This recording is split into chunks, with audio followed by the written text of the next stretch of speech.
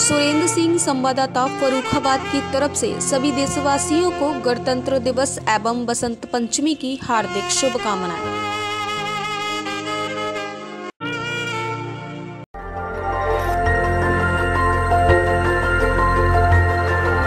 देखते रहिए डीवी भारती समाचार, नज़र हर खबर पर।